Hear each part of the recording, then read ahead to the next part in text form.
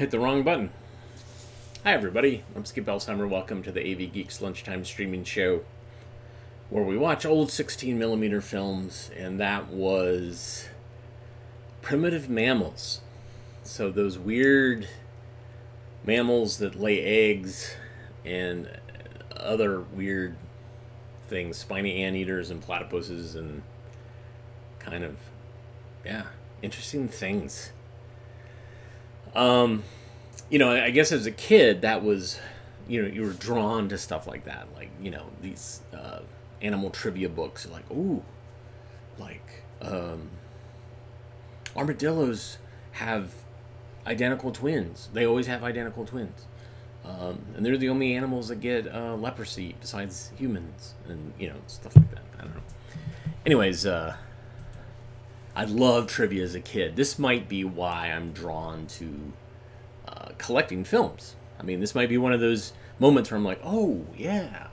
Uh, because I uh, would go to the library and check out a bunch of books of trivia about anything, just tr- interesting facts. Um, and uh, didn't really matter the topic. I don't think I was as interested in sports trivia because I just wasn't interested in sports. But there were certainly interesting stories in there that I gleaned. But uh, that that might be why I'm a fan of collecting these films because it's this diverse amount of information, and I can pull out inf- in, in, interesting things from that.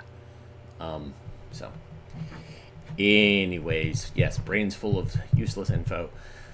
Uh, poetry. There's so many kinds.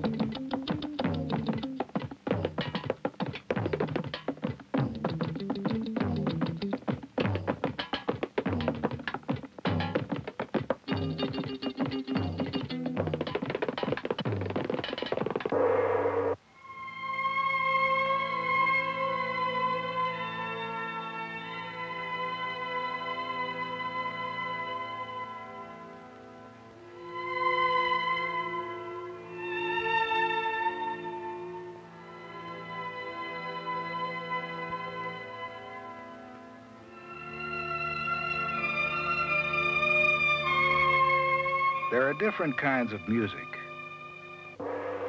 There are different kinds of poetry, too. Poetry began as music.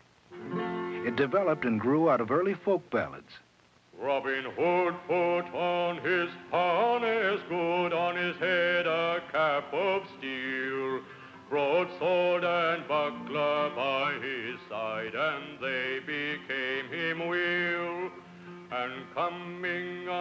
Ballads are still sung. Their words are poetry. Home, home on the range, where the deer and the antelope play, where seldom is heard a discouraging word, and the skies are not cloudy all day.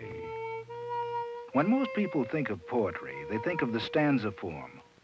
Each division of the poem has a regular pattern of number of lines, rhythm, and rhyme. The stanza form was used by Alfred Lord Tennyson in this narrative poem that tells the story of the disastrous defeat of the British Light Brigade at Balaclava during the Crimean War of 1854. Theirs not to make reply. Theirs not to reason why. Theirs what to do and die. Into the valley of death rode the 600. A characteristic of the narrative poem is that it tells a story through action. Cannon to the right of them, cannon to the left of them, cannon in front of them, volleyed and thundered. The language is simple and direct. When can their glory fade? Oh, the wild charge they made. All the world wondered. Honor the charge they made. Honor the Light Brigade. Noble 600. Narrative poetry, like Tennyson's Charge of the Light Brigade, is usually concerned more with action and story rather than with character and characterization. Extremely long narrative poems that stress the adventurous deeds of legendary heroes are called epic poems. Beowulf is an epic poem about a mythical Anglo-Saxon warrior who fought and slew the dreaded Grendel, a grotesque monster. From the stretching moors, from the misty hollows, Grendel came creeping, accursed of God, a murderous ravenger minded to snare spoils of heroes in high-built halls.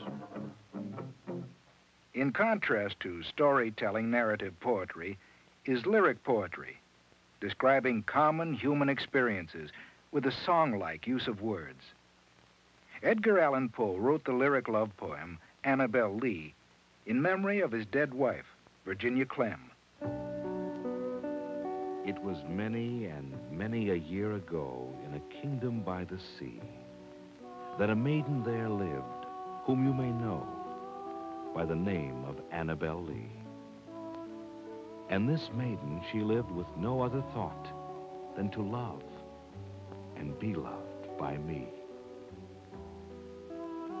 Characteristic of lyric poetry is the use of words and phrases to create vivid images. No other thought than to love and be loved by me. A wind blew out of a cloud, chilling my Annabel Lee. One means of varying the tone and mood of lyric poetry is with symbols, words that are used to represent other things. Robert Frost in The Road Not Taken uses the simplest of words to produce a symbolic effect. I shall be telling this with a sigh, somewhere ages and ages hence. Two roads diverged in a wood, and I, I took the one one less traveled by, and that has made all the difference.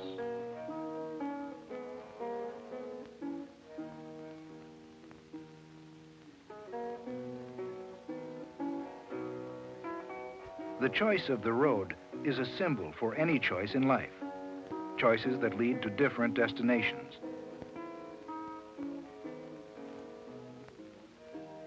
Lyric poetry deals intimately with common human experiences. Life and nature. Love and death. Lyric poetry, like all good poetry, enables the reader to look at well-known things in a new way.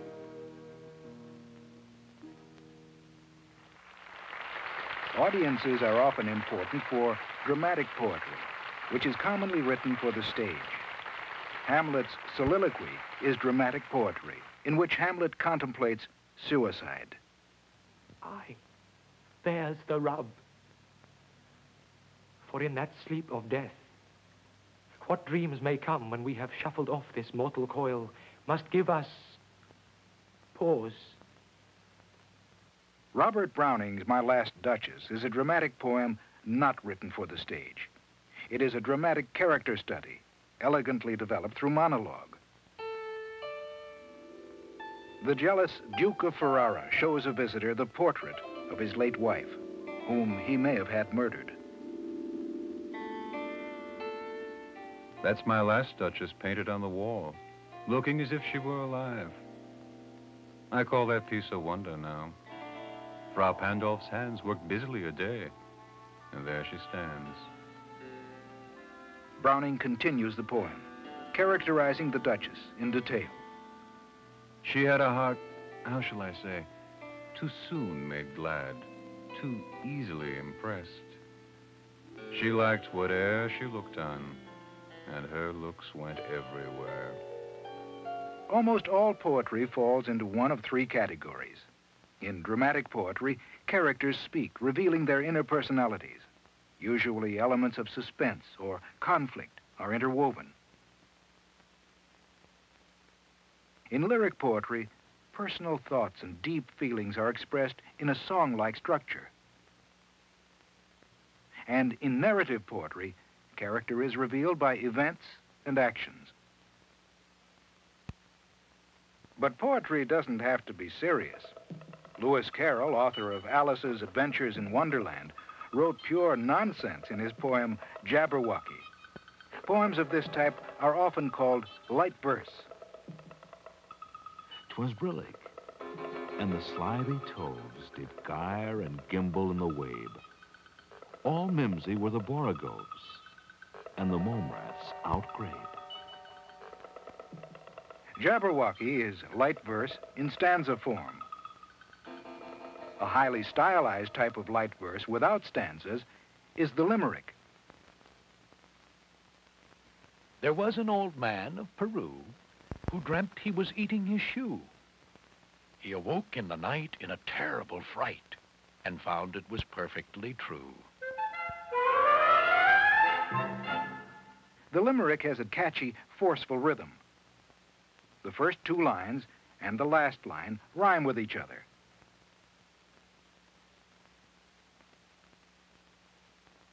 And the third and fourth shorter lines rhyme. Another specialized form of poetry is haiku.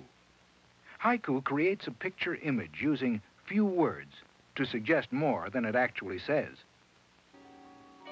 Many winds that blow, ask them, which leaf of the tree will be next to go? Is the poem really about leaves? Many winds that blow, ask them, which leaf of the tree will be next to go?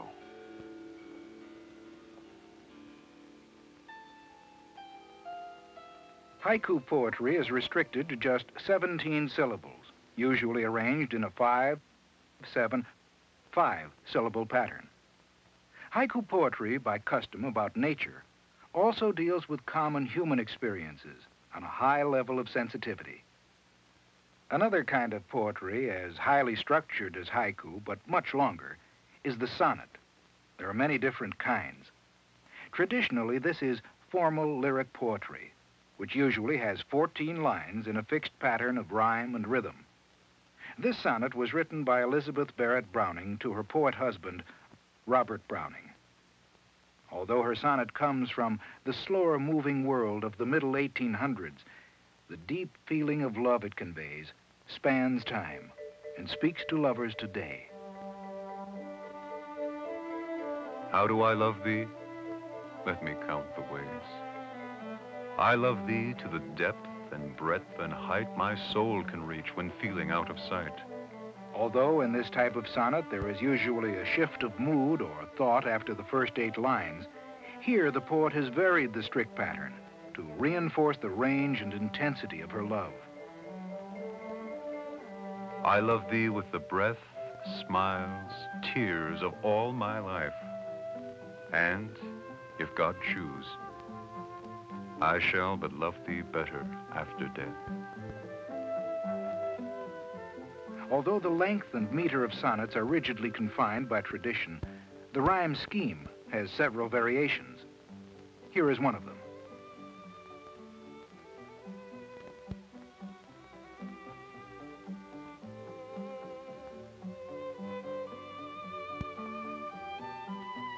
But poetry doesn't need meter or rhyme to be poetry. Many poets, such as E. E. Cummings, have abandoned them for free verse and have relied on their own typography and punctuation to create a rhythmic pattern. Here is a section of Cummings' poem, In Just. It's spring, and the goat-footed balloon man whistles far and wee. The form and structure of poetry can vary. From E. E. Cummings' free verse to haiku, to sonnet, limerick, or the stanza, block form. But regardless of poetry's structure, its language and its imagery reflect a vast spectrum of life. for your amusement, for your excitement, and for your appreciation.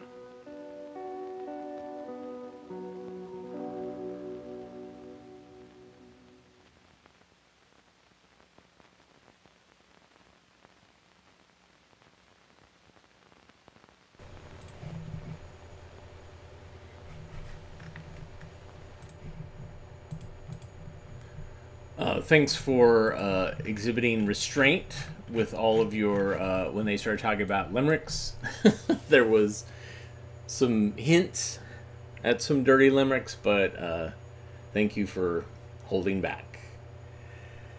Okay, uh, so behind me I have. Um, well, let's see, hold on. Right here, I have a scanner set up and uh, we're gonna watch a film that I don't know anything about it except that I think it's it's a uh, from a feature film. It's missing the title. I don't know anything about it, so maybe somebody will recognize somebody in there and they can help. They can be googling while we watch it, and we can find out what this film is, what this little segment is. I mean, that's the thing is. Uh, sometimes we find stuff on a reel, and this one it basically says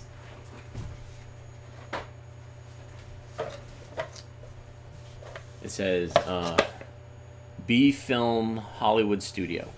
So I don't know. No idea. So um, enjoy. Maybe we'll figure out something. Oops. Well, that got copied over there for some reason. All right. All right. Enjoy.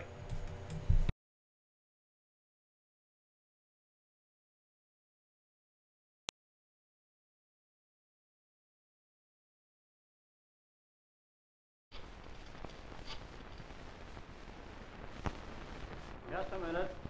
Mr. Gibbons wants you.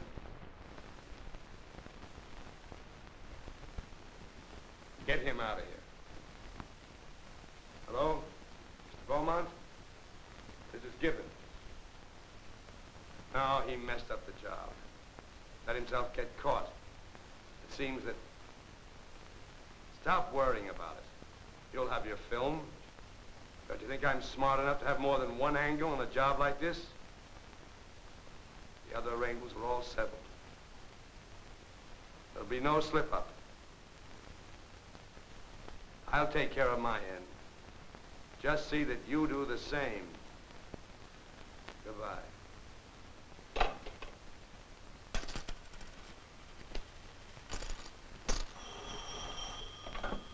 Hello. Three queens and two sevens, just in case. Okay, I'll tell him. What's for you, Phil? Avery's waiting for you. Very convenient. He calls you at the right time. Hey, do you let him in on all your loot?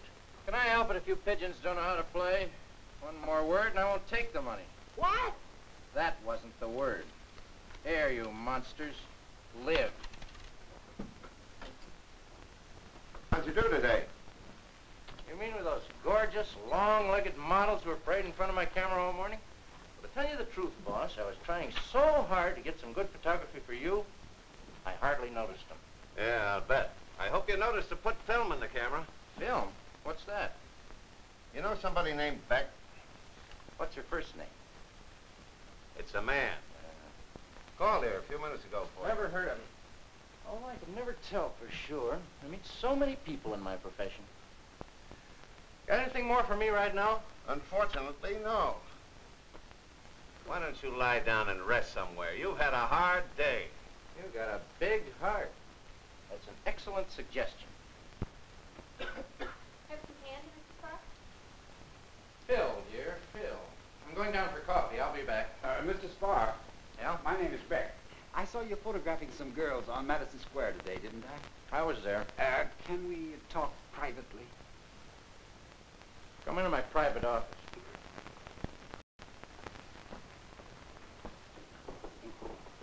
You see, I- I think you took my picture today.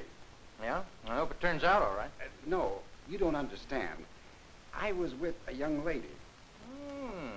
Congratulations. No, but the young lady is, uh, let me put it this way, uh, my wife might not understand. Oh. And if she sees me on the screen at the newsreel with that young lady, Well, briefly, I'm willing to pay you for that film, Mr. Spar. I'm afraid I won't be able to help you right now. That stuff's not developed yet. But when it is, I'll get in touch with you. Where'll you be? I can meet you right here. Okay, it's a date. Uh, when, Mr. Spar? What time? Sometime after the film gets back and we can take a look at it. Pound, please. Make it three hours. Want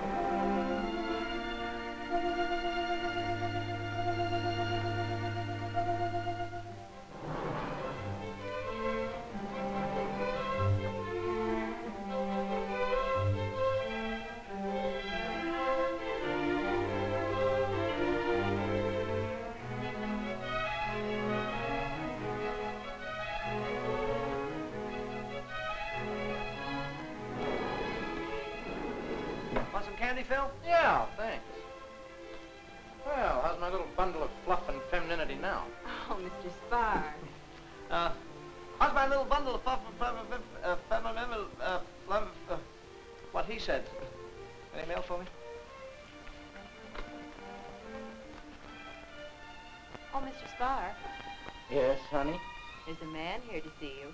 A man? Where? Mrs. Spar, did the uh, film come back yet? Film?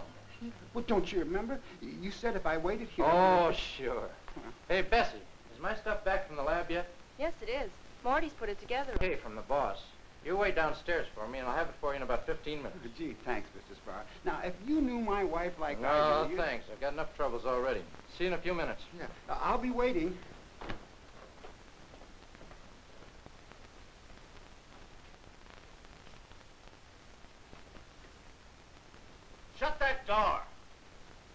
Certainly, so long as you ask me so nicely.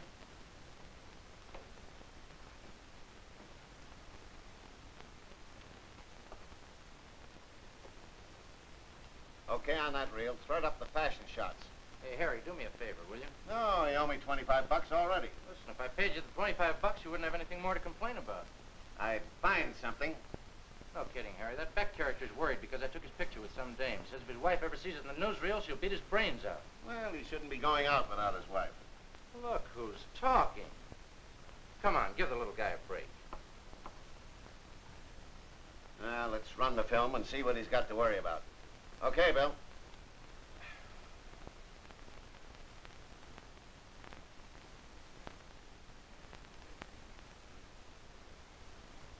Think you take money for doing this. Those new long skirts, I should get more money.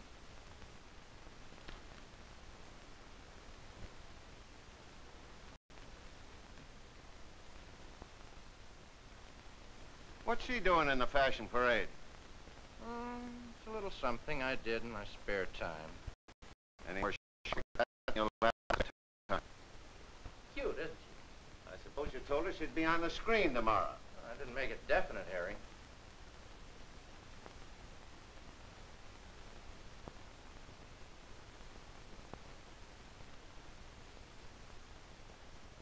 I don't see anything much there.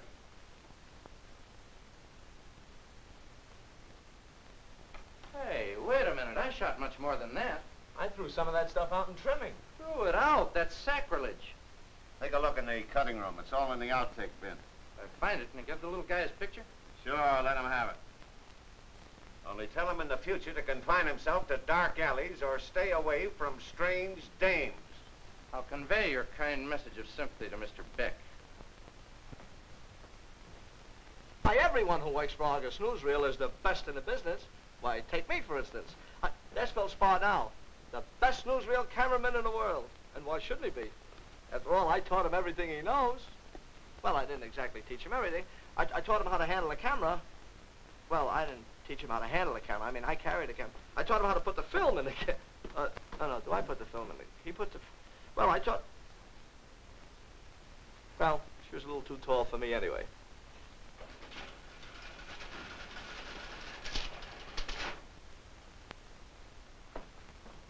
Just browsing or looking for something special? As a matter of fact, I am. Someone special. Named Phil Spar. Well, he's a hard guy to get to, but I think I can help you. I'm his best friend. Really? Well, I'm from Snap Magazine. My name is Peggy Lane. Peggy Lane. You're a lucky girl, Peggy. Why? Because I happen to be Phil Spar. Yes, I know. Your assistant pointed you out. You're one of the people I'm supposed to talk to. You see, we're doing an article on men who cover the news, and I'm gathering local color. Are you busy, or do you have time for a chat? Well, I'm really very busy, but you've talked me into it. I'm sure you know a great deal I'd be interested in hearing. I don't want to interrupt your work. Oh, don't worry about that. Now, would you'll be interested in hearing, and I, I think don't you're know the very kind much about newsreels, Mr. Spar, but I know you can help me. Phil, please. Well, did you find it?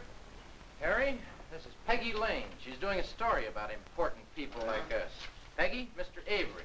He invented the newsreel. Oh. How do you do, Mr. Avery? Hello, Slane. Would you excuse us just a minute? We're doing our good deed for the year. Am I in the way? Not at all. Stay right where you are, dear. You add a little class to the joint.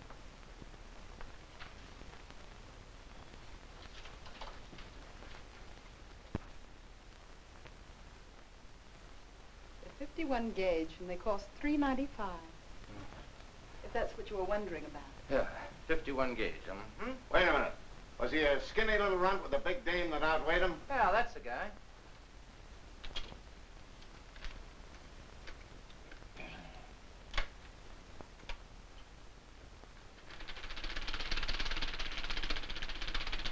Hey, that's very nice.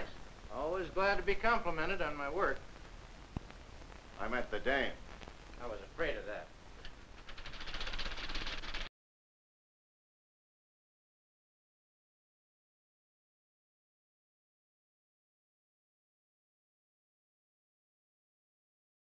Guys.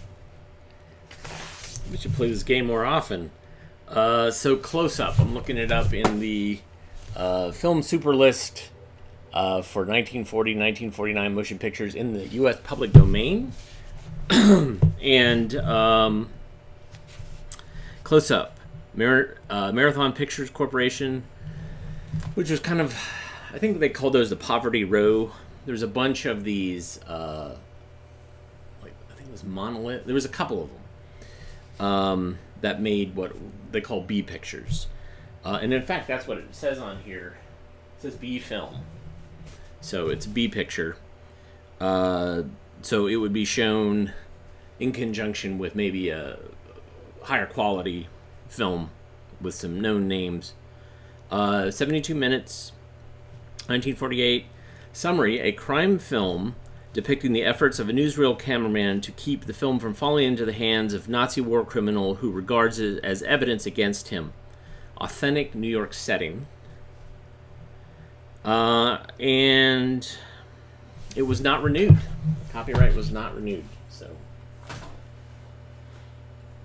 take that, YouTube. Um, fascinating though. Uh, really. Dig, yeah, and we'll. Uh, I love all the eyeballs doing the Google searches, all the fingers going, listening for clues. Uh, I kept looking up Argus uh, because that kept showing up. Argus was on the job. Um, but that didn't really bring up anything. But uh, some character names, I think, did. So thank you. All right. Uh, let's learn about English on the job. We listened yesterday about uh, listening and talking. Uh, today is writing skills. Enjoy.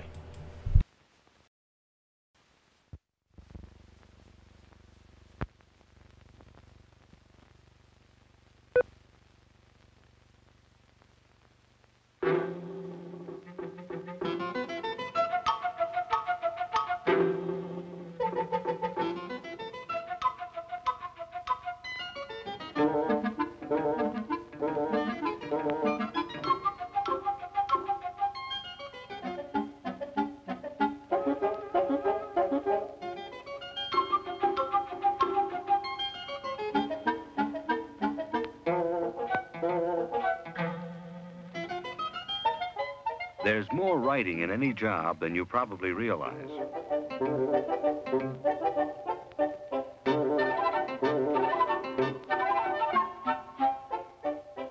The writing skills you're learning now at school can help you with your future occupation. almost everyone uses on-the-job writing skills. Some people, like machinist Dave Mellon, used writing skills to get their jobs.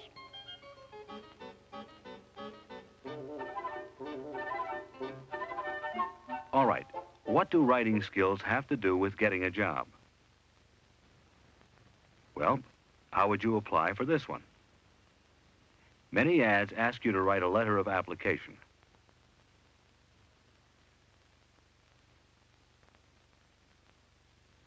Since this is going to be your first contact with a potential employer, you want to make a good first impression, right?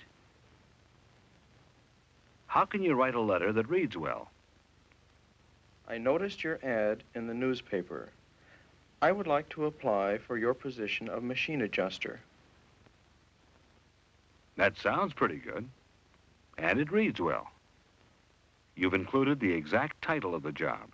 That's important because the company might have advertised several openings. There's also no waste of words. It's clear. Being clear in your writing is important, but is it really enough? Being complete is important, too. I'm 18 years old and have attended McKinley High School where I have had experience with many kinds of machines in shop classes. I graduated in June. To be complete, you need to include all the information the prospective employer might be interested in. The machines include the drill press and the turret lathe. And along with being clear and complete, you try to be correct, both in what you write, the content, and how you write it, the form. Proofreading can help you make certain that your writing is accurate. With any writing, proofreading is a good idea. While checking the mechanics of your writing, you know, the capitalization, spelling, and punctuation, you can also check the correctness of your information. If your first draft looks sloppy, why not copy it over? You want the job, and if your letter can make a good impression, you just might get it. Being clear, complete, and correct are skills that can help you do any kind of writing. Carol Gill found that out when she wrote her resume. A resume is just a listing of all the important facts about you. It gives more details about yourself than a letter of application. It's like an outline with headings and subheadings.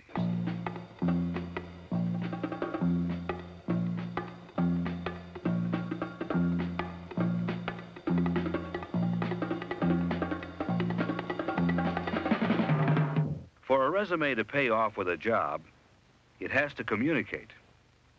And it will if it's clear, complete, and correct. Writing a resume and a letter of application are just two ways of applying for a job. Another way is just going to a business where you know there's a job opening. Even so, one of the first things you'll probably be asked to do is write. You'll need to fill out an application form. Filling out the form correctly is easy if you skim it before writing.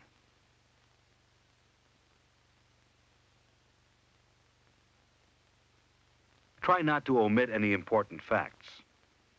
You can help yourself by writing ahead of time the information the company is likely to want. Things like your work experience, references, and a health history.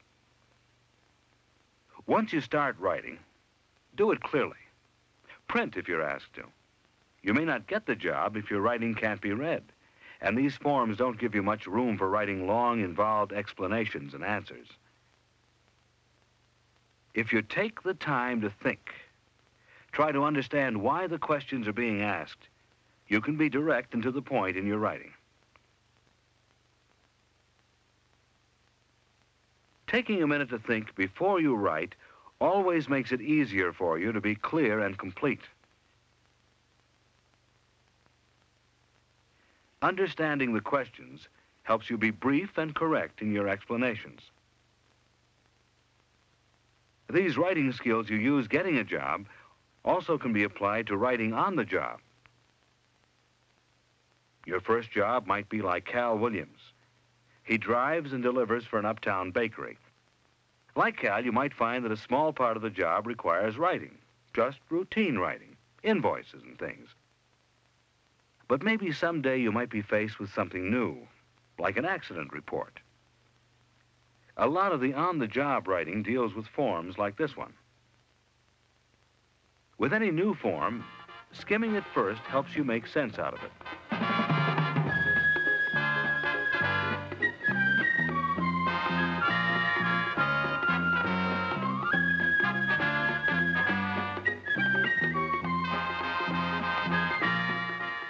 Accident report forms are usually designed so that the questions are presented in an orderly way. This accident form has an outline structure, with each question similar to an outline heading.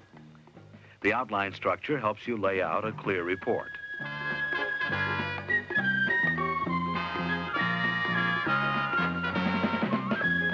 You may have to write some reports for which there are no forms.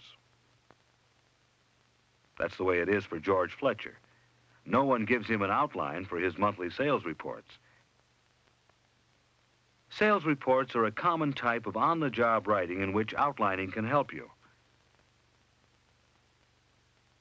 Every month, George writes his sales report to his boss in St. Louis. George has been selling encyclopedias since he's been out of the Army. He enjoys being out of doors and meeting people.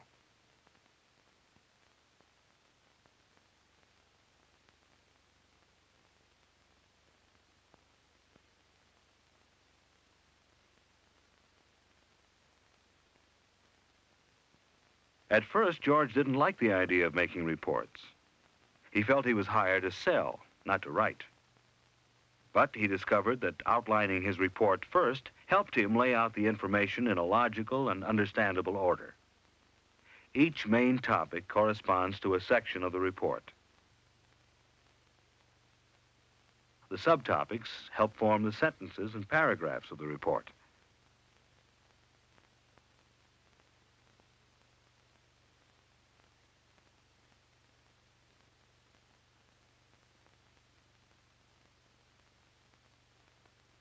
So, with on-the-job writing of reports or forms, if you're clear, complete, and correct, you can do the job much better. Another kind of common on-the-job writing is the business letter. These letters, particularly, should be written with care to prevent costly errors. To help your letters do their job, try to get to the point as quickly as possible. Thank you for your letter of February 27. I will personally see that the part you requested is shipped as soon as possible. Each paragraph in your letter should express a single idea. When you present a new idea, start a new paragraph. As you probably know, the fire at the supply plant has caused a four-week delay in the shipment of parts throughout the Midwest. However, you can expect shipment of the distributor head, part DX50089, as soon as a part becomes available to us. What makes this a good letter is that it says just what it has to and stops. It's brief, but it's clear and complete. And it's correct because it contains the right information and it follows the form and standards set by company policy.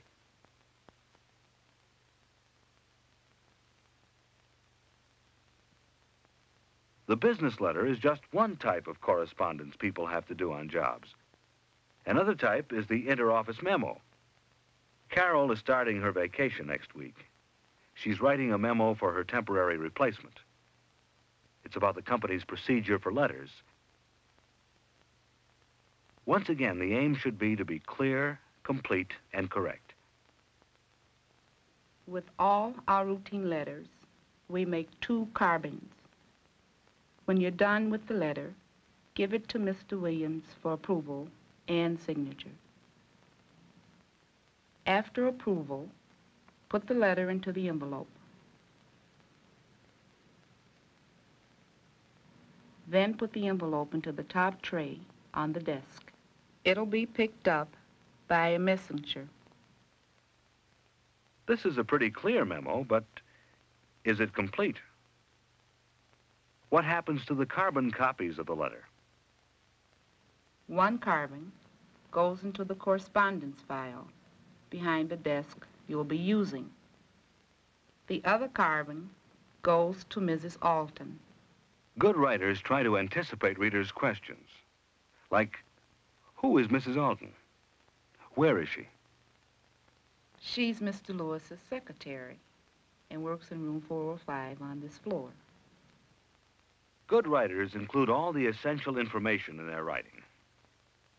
With all on-the-job correspondence, memos, or letters, writing that's clear, complete, and correct adds up to good total communication. So you can see, there's probably a lot more writing related to work, more than you may have realized. And by now, you also know that good on-the-job communication is clear, complete, and correct.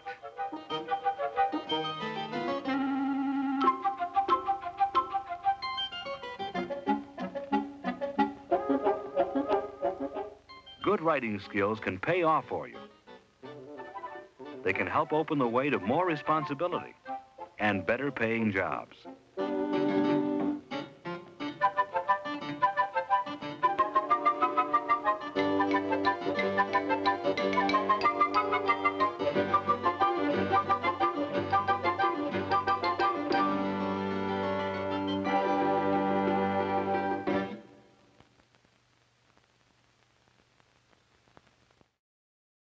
I really like that. The uh, um, this reminds me, I did a show in uh, Toronto, or I did a screening at a class that was a class about kind of technology and um, communication, and uh, I showed them a film called "Writing Better Business Letters," and uh, it's a Coronet film, of course, and it uh, basically had these two guys who were looking to write a business letter, and what they were trying to do is write a record store that was in their hometown uh, to see if they could get uh, two records uh, that they could purchase and then have mailed to them in time for a party that they were having uh, the following week. So I showed this to uh, people who are currently college students and it blew their mind. like the whole idea of one buying music is is kind of weird because a lot of people are just streaming music. Two, uh, buying music, uh, a physical thing of music, uh, was also strange. The fact that they had to pull out this device called a typewriter and actually type it. Uh, the other thing that was really great was carbons. Uh, and I kind of asked the class, I said, uh, Do you know what CC stands for? And someone said, Well, it's carbon copy. I'm like, That's what it's from. And everybody's like, Oh, it was like all these light bulbs like blew up, like, Oh. And then we looked at the business letter as a way of like, look, look at the structure of your email. When you do an email, here's the subject line, here's who it's going to, here's the, the carbon copy, so you see who it's CC'd to the whole thing. It's a business letter. And then some people have a salutation or they have a like a, a thing at the bottom. Everybody's brain just exploded. Um, there, that film was so much, so much stuff that they just didn't know how to handle it. And uh, my friend, the, my friend, the professor who hosted me, uh, she did kind of a follow up quiz, and some of them, they they were just lost, and there was so much information in this weird film from the the 50s. Uh, so this is why I collect and I show films uh, to blow college students' minds. All right, here is uh, a film about vegetables from garden to table. Enjoy.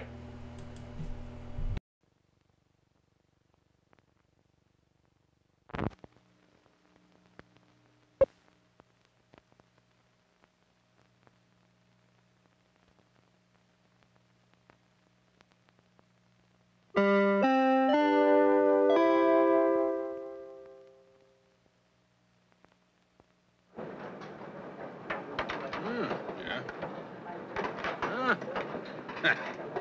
Attention, all members of Company B area detail. Good. Warden Sergeant Watson, 1,600 hours of brooms and shovels to police the company area. Attention, all members of Company B area detail. Hey, Sarge. I'll have some cauliflower Florentine and artichoke heart crepes. oh, Sarge, not mashed potatoes and peas again. It looks like you blowed them to death. Well, what did you think you enlisted in anyway? A chef's school? Move along. Can't you serve vegetables any other way? Eat it, you'll like it. What the sergeant didn't know was that the abundant variety of vegetables and serving methods can make them the highlight of daily meals. And if properly prepared, vegetables can make substantial contributions to the vitamins and minerals that we need for good health. For example, an orange at breakfast is not the only way to get your daily quota of vitamin C. This combination of vegetables eaten during the day will provide the same amount of vitamin C as an orange. The nutrients in vegetables are largely influenced by the part of the plant from which the vegetable comes. And all parts of the plant produce vegetables, roots, stems, leaves, fruit, and flowers. Although most vegetables can be cooked, many are enjoyed in their raw form, both as snacks and salad ingredients. We'll start with the vegetables that grow below the ground, roots and tubers. These are all examples. Radishes and carrots make colorful raw garnishes. Trim root vegetables sparingly at the root and leaf ends. To make radish roses, make four slashes, which when chilled in ice water, spread into a petal design. Cut carrots in sticks, rings, or curls. Curls are long, thin strips rolled and held with a toothpick. They retain their shape after chilling in ice water. Turnips and rutabagas are often waxed to hold in moisture for shipping. This is removed when they are pared. Although usually eaten cooked, try them pared and cut into raw wedges or shredded for salads.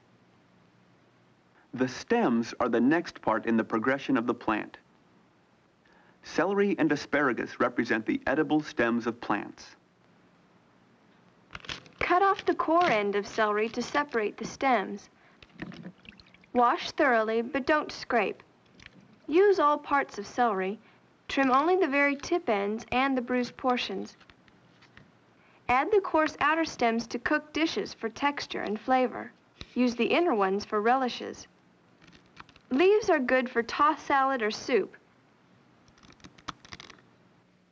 There's an abundance of edible vegetable leaves from which to choose. The leaves are low in calories because they are low in starch. They are high in moisture content and contribute much cellulose or fiber to the diet and aid to the digestive system. Buy fresh, crisp-looking salad vegetables, then refrigerate them as soon as possible.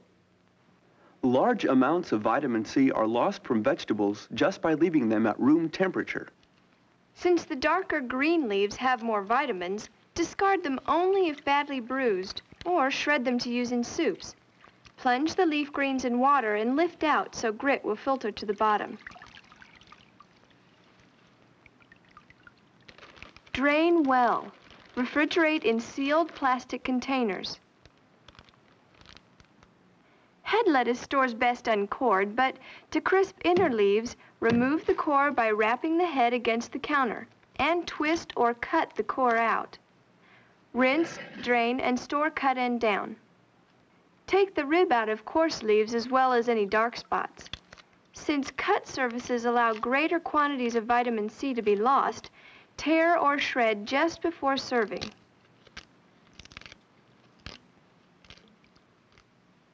Some flowers and flower clusters of plants produce edible vegetables. Choose pure white heads of cauliflower, broccoli free of yellow tinges, and artichokes with tightly clinging green leaf scales. Rinse the head of cauliflower and remove the outer leaves. To make appealing finger food, break or cut off the flowerets from the central core. For salads, slice thinly just before use.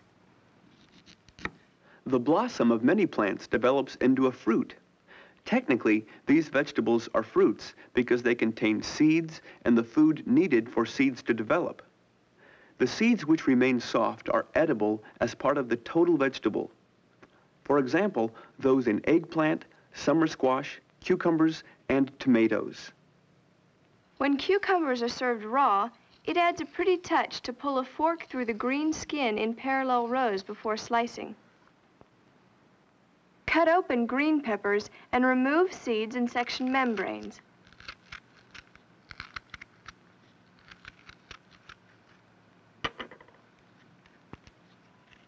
Then, slice into strips or rings to serve. Use toothpicks to insert these raw vegetables into a round vegetable for an enticing centerpiece. And provide some nutritious dips made from beans or broccoli. Or simply combine them for a tossed salad. Well, that's an appetizing variety of raw vegetables. However, there are also good reasons for eating cooked vegetables. First of all, some vegetables can't be eaten raw. Also, cooking softens fiber and aids in the digestion and absorption of food. The principal goals in cooking vegetables are to protect color, flavor, and texture, and to preserve nutrients. Now, there are moist and dry heat methods of cookery. Oven baking and broiling are dry heat methods. Since nutrients in vegetables are concentrated near the skin, baking them unpeeled is an excellent cooking method for retaining these nutrients. Just scrub and remove the eyes. Oiling the potato produces a softer, more edible skin. Prick the skin so they don't explode from accumulated steam. Cook until they feel uniformly soft when pinched with a pot holder. The length of cooking time is determined more by the size of the vegetable than by the number baked.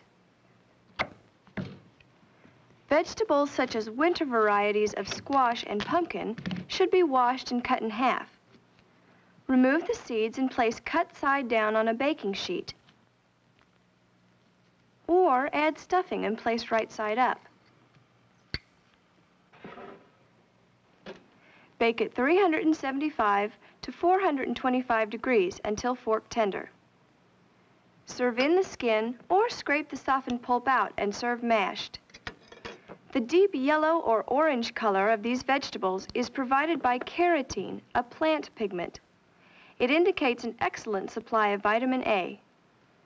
The deeper the yellow-orange color of the vegetable, the more vitamin A it contains. Use broiling for vegetables with a high moisture content. To make kebabs, place a variety of vegetables on a skewer. These have been dipped in vegetable oil to prevent the surfaces from drying. Rest them on the cold broiler pan three inches from the heat. Cook until just tender crisp. When overdone, they get mushy and fall off the skewer. Moist heat cookery, including boiling and steaming, is used for starchy vegetables to swell the starch granules, making them more soluble.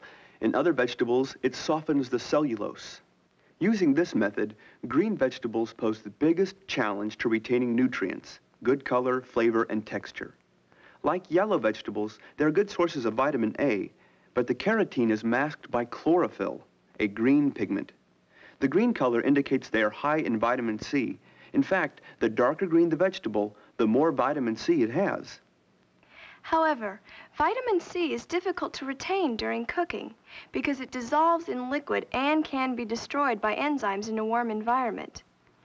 But since enzymes are inactivated at the boiling point, it is logical to start the cooking process in boiling water and to use as little water as possible.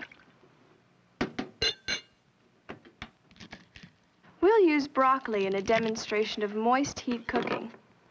After washing and removing the leaves, divide the thick stalks vertically or into small pieces. That way they'll cook as fast as the flower tops. Add the broccoli to the boiling water. Cover and return to the boiling point on high heat. Then reduce heat to maintain a slow boil. Using just enough water to prevent scorching is called waterless cooking. This method relies upon the steam created to do the cooking. If cooked quickly in a pan with a tight-fitting lid, to a tender but crisp doneness, a bright green is maintained. When cooked well done, the cell walls break down and allow the chlorophyll to react with natural plant acids. This creates an olive drab color and a strong flavor. Leaving the lid off but using more cooking water is often recommended for vegetables in the cabbage family. This is because they contain sulfur compounds which break down during cooking, creating a strong aroma and flavor. With the lid off, these compounds can escape. However, since half of the vitamin C will end up in the cooking liquid, it should be eaten with the vegetables. This is especially true for canned vegetables. One solution is to remove the vegetables, boil the liquid down to only a few tablespoons, then return vegetables to the liquid until just hot throughout. Fresh vegetables may also be steamed in a perforated container placed over boiling water so that the vegetables are not touching the water, as for this artichoke. Prepare an artichoke by cutting off most of the stem and clipping the tips of the leaves, including half an inch on top.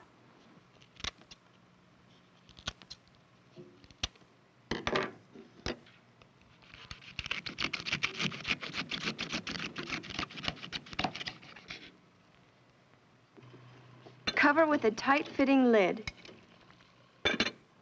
When done, leaves should pull off easily. They can be served hot or cold. This looks good. I've never tried one. Obviously. Look, you just pull off one of the leaves and dip it in the sauce of your choice. Well, that sure looks like more fun. Mmm, that is good. Sweet corn, peas, and green beans can be eaten as immature seeds. However, in their fully ripened state, these seeds turn dry and need to be cooked in liquid before eating. Dried vegetable seeds provide B vitamins, calcium, and iron, and are a good source of protein when combined with animal protein. Sort out damaged beans or foreign matter and rinse. The beans absorb the liquid, so use two to three times as much water as beans. One cup of beans will make two cups when cooked. Cover with water and let soak overnight.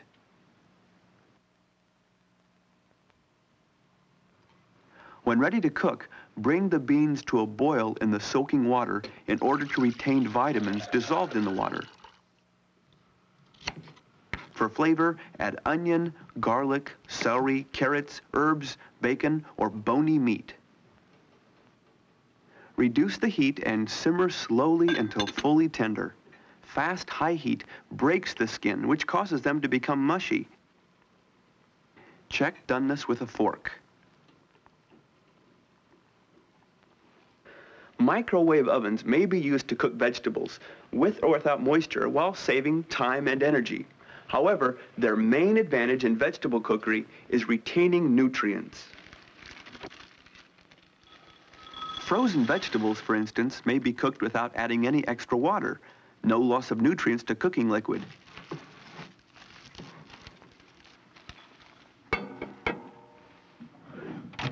Since it's not necessary to use boiling water to cook fresh corn on the cob or frozen vegetables in the pouch, they are microwave favorites. Slash the pouch to avoid pressure buildup. Because the husk forms a natural insulation, the corn is steamed in its own moisture. Just micro-cook a couple of minutes per ear. When cooked, silks peel back with the husk. Stir frying is a technique adapted from Chinese cookery. Vegetables prepared in this manner retain nutrients and color because of the short cooking time. Use vegetables high in moisture. Leafy greens such as cabbage are shredded. Cut asparagus, carrots, and celery in very thin diagonal strips.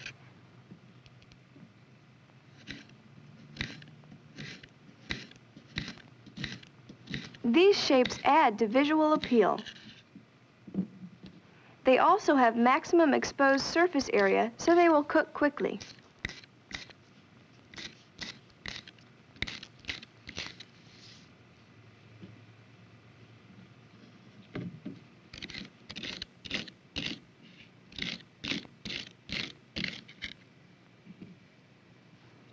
A funnel-shaped pan called a wok is the traditional utensil for this technique, but a heavy skillet may also be used. Add the chopped vegetables to two tablespoons of hot oil and stir to quickly coat them in the oil. The food should pop and sizzle. Keep it moving so it won't stick. Add extra moisture, cover, and steam just a few minutes to reach a translucent, tender crispness.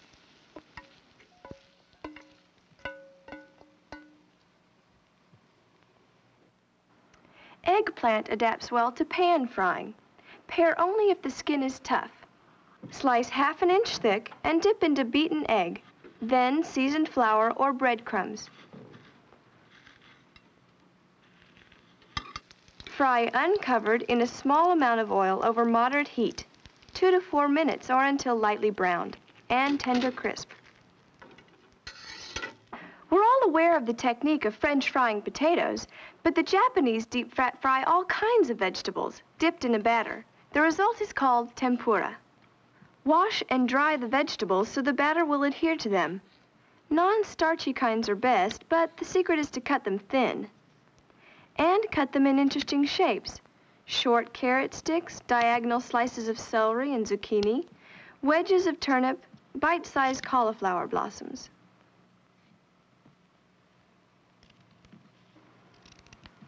The batter and oil are critical factors. Use a mild vegetable oil heated to 350 degrees. Cut the vegetables and begin heating the oil before making the batter, which should be ice cold when used. Test the oil with a little drop of batter. It should sink to the bottom, then quickly rise in the midst of bubbles. Dip the vegetables into the batter one at a time, then into the oil. Repeat, but don't overload the hot fat. Fry about one minute or until light brown. The batter creates a seal around the vegetables so that they are tenderized by their natural moisture turning to steam. That's why small pieces work best. You'll be surprised at the new mellow flavors you detect. This is a good way to try new vegetables. Drain, then serve hot with a choice of dipping sauces, horseradish, sweet sour, or mustard.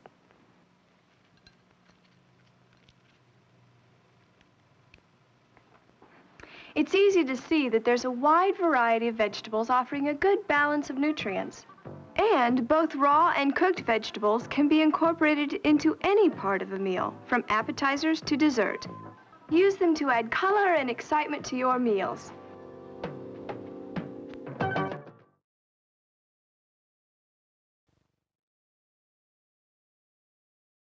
Would have been better with bongos, I think. Um, yeah, so there's there's a series of these uh, Centron films about home cookery uh, that show how to. There's one called Meat Cookery. There's one about baking. Um, so there you go. Very. Uh, the beginning had a little interesting narrative, but it very quickly got down to brass tacks of just here we go. We're gonna show you how to prepare vegetables. And so this was for home economics, um, mostly. Uh, thanks for tuning in today. Uh, this is a special show because this is episode 999, 999 uh, episode that we've been doing. Uh, what is an actor's name of the of the guy that was in that film? He looked really familiar, but man, I think a bunch of people in the early 80s looked like that guy.